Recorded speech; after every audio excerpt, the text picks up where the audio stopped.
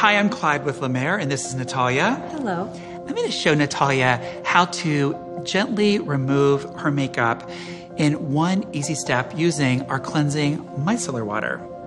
We're going to use a cotton round to apply the formula. We're going to go in small circular motions all the way up from the throat to the forehead. And then we're going to do that same motion, but a little bit more towards the center of the face.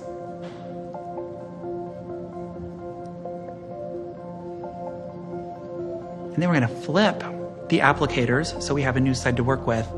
We're going to sweep from the center of the face to the outside of the face, just to the hairline, getting the skin absolutely clean every step of the way.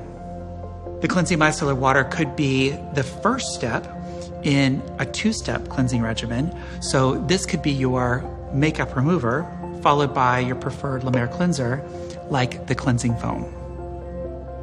Proper cleansing is going to ensure that the skin is fully prepped, fully ready to take advantage of the power of the miracle broth and everything else that's in your regimen to enjoy the best results.